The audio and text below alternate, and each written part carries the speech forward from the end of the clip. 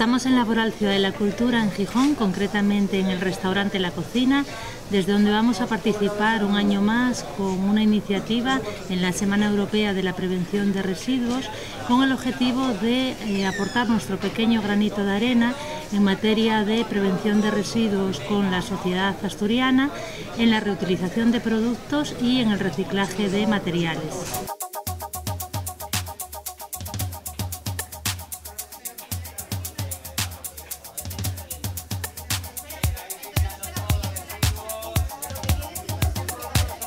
Hola a todos, pues vamos a presentar una actividad muy chula en la cual 10 participantes van a elaborar el menú de una semana para ser completamente sostenibles.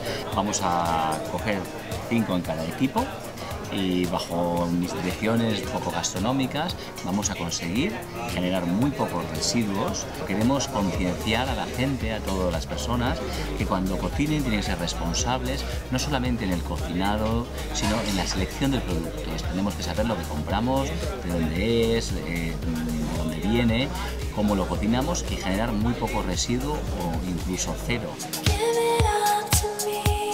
que reciclar conforme este código de colores, ¿de acuerdo? Todos lo sabéis, me imagino. Pues si todos lo sabéis, organizaros. También les voy a enseñar a que las legumbres y el producto que compren sea lo más local posible, cosa a la que no están acostumbrados. Cosa eh, como coger unas patatas en el supermercado, en una bolsa tuya, en unas berzas y tal, y en la misma bolsa llegas y ya para casa, nada de otro envase y otro y otro. Objetivo, eliminar la bolsa negra, que casualmente es la que más llena, tienen todos, eliminarla, porque en el año, me parece 2020, no va a haber vertederos. El objetivo es vertedero cero. Entonces vamos a provocar que la bolsa negra se reduzca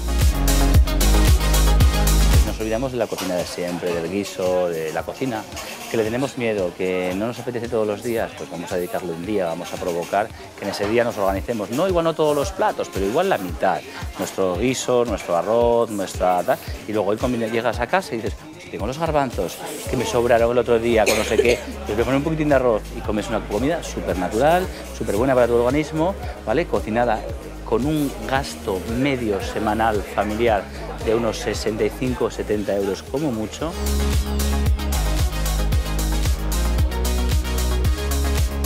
Ellos tienen la conciencia de que reciclar es muy bueno y hacerlo muy bien es mejor. Mentira. El objetivo es no llegar a tener... Ahí está. Eso sí que es conciencia en la compra.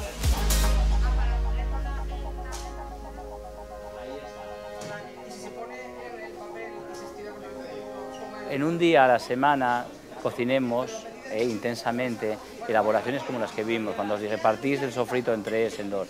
Eso os va a ayudar a cocinar mucho y os va a provocar que cocinéis en casa porque os va a ser cómodo. Lo que dije siempre, una misma olla para todo, eso es una forma de cocinar que va a hacer que no os hago bien tener que ir al fregadero a fregar cada poco. Es muy importante en una olla pensar en lo que se hacía antes y en los procesos, ahora esto, ahora esto, otro. Eso os va a ayudar a cocinar. Los que no tenéis mucha experiencia, probar poco a poco. El objetivo es, por tanto, mostrar un estilo de vida sano y sostenible donde los consumidores sean responsables durante todo el proceso, desde la compra al reciclaje. El restaurante La Cocina está equipado con mobiliario de las antiguas cocinas de la laboral y cuenta con un homenaje recuperado de los años 50. Este es el objetivo del día de hoy, ¿eh? reciclar y más que reciclar, concienciarnos a la hora de lo que vamos a hacer, programarlo un poquito para no generar residuos.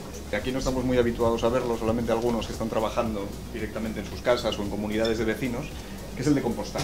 Tenemos una duda muy gorda con lo que es papel y lo que no, muchas veces. Esto es un problema que tenemos con los productores y con los envasadores y con las marcas. Los envases cada vez son más difíciles de reciclar, en lugar de ser cada vez más fáciles, que es lo que tendría que ser. Ese papel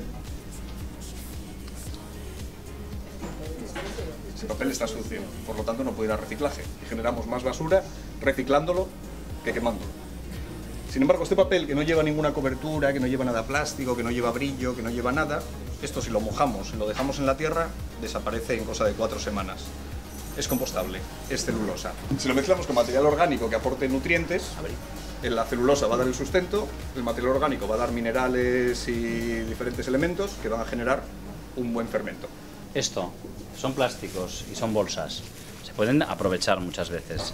De hecho, el objetivo de las tortillas de maíz que las hagáis era para aprovechar esto, ¿de acuerdo? Si te por ahí para casa, metes ramas y cortas mal. Le tienes que andar cogiendo ¿Quieres hacer los honores tú? Echaste un montón de tiempo. A ver, si las has visto, no me da la cocina nada, pero el horno gasta mucho.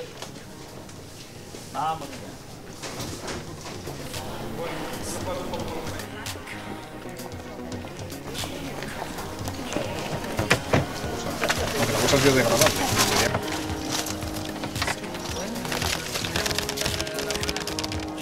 Esto Cogersa ya ha hecho una campaña, ha dado como 6.000 entre familias en zona rural para casas con campo y ya está con otra campaña para comunidades que tienen jardines y demás, para que los vecinos puedan bajar y compostar en el jardín al margen del resto. más sencillo y sobre todo ya tener unas pautas, mm, muchas veces dudas como con lo, de la, lo del papel, de la celulosa, para arriba y para abajo. El- hay que tener, pues eso, a lo mejor una vivienda especial con un poco de terreno de que yo solo veo un poco más complicado, por lo menos en mi caso.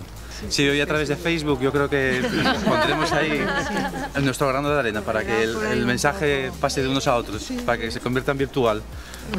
El tema del reciclaje es importantísimo, hemos aprendido mucho hoy, pero el camino, que ha sido cocinar lo que nos ha enseñado aquí el Sergio Rama, pues ha sido fantástico. O sea, este de menú semanal a mí me ha dejado loco en que en cuatro horas podamos tener todo, todo hecho. O sea que daros las gracias. Adiós.